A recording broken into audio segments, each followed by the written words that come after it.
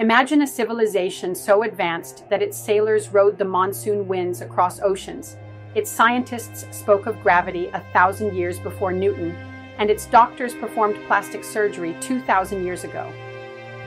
A civilization that developed atomic theory long before modern science and wrote epics so grand that even Shakespeare was inspired by them. Now imagine that this civilization never claimed credit for any of it. Welcome to the forgotten genius of India, a land that mastered knowledge but never sought to advertise it. Before Columbus, before Magellan, before Vasco da Gama, Indian sailors ruled the seas. But they never wrote grand tales of discovery, because to them, the world was already connected. Indian ports like Muziris, Arikamedu, and Barygaza thrived through Indo-Roman trade, with Roman ships sailing annually to India as early as Emperor Augustus's time. Pliny the Elder complained that Rome was spending 100 million sesterces a year on Indian luxuries. Indian sailors used monsoon winds for navigation long before the Greek mariner Hippalus was credited with discovering them. Innovations like the Matsya Yantra, a crude compass, and Plava, mast stabilizers, enabled long distance trade. While Europeans celebrated their age of discovery, Indians had already mapped these routes for centuries, silently, without fanfare. Isaac Newton discovered gravity, right? But what if an Indian mathematician had already written about it 500 years earlier? Bhaskara II, 1150 CE, wrote that objects fall to Earth due to a force of attraction, Kanada, 6th century BCE, spoke of atoms, paramanu, as indivisible building blocks of matter, predating John Dalton's atomic theory by over 2,000 years. Madhava of Sangamagrama, 14th century, pioneered infinite series and early calculus centuries before Newton and Leibniz. Aryabhata, 5th century CE, proposed Earth's rotation, the reflection of sunlight by the moon, and scientifically explained eclipses, 1,000 years before Copernicus and Galileo. Yet modern science books seldom mention these Indian minds. Why? Because they didn't claim these discoveries as their own. They shared them freely. Plastic surgery, cataract removal, cesarean sections, all of these were performed in India over 2,000 years ago.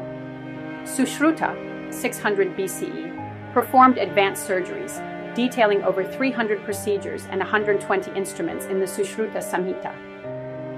His rhinoplasty technique, forehead flap surgery, is the earliest recorded nose reconstruction in history, only rediscovered in Europe in the 18th century. Charaka's Ayurveda, 200 BCE, laid the foundation of internal medicine, emphasizing a holistic approach to health. While the West was still treating diseases with superstition, Indian doctors were already advancing medical science. But did they patent their discoveries? No, they believed in Vidya Dan, the sharing of knowledge as a duty to society.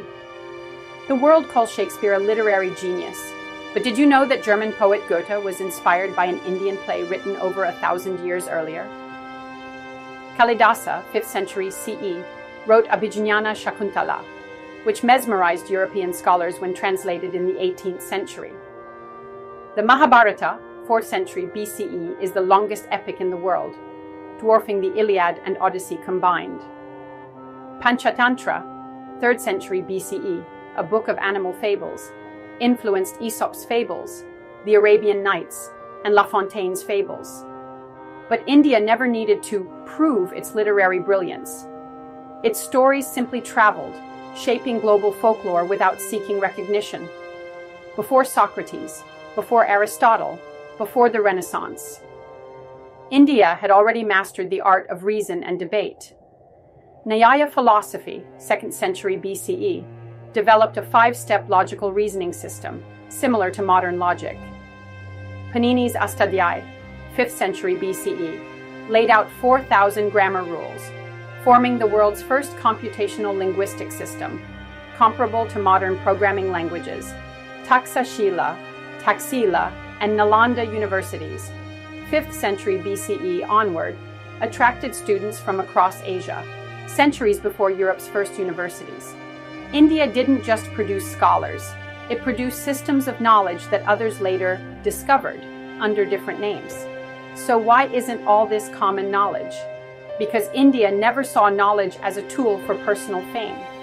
Indian culture valued knowledge as a collective inheritance, passed down without obsession over individual credit. Unlike the West, where patents and written records secured recognition, India's oral traditions ensured knowledge was used, not just remembered. Colonization and Eurocentric historical narratives further erased India's scientific, literary, and philosophical achievements from mainstream discourse.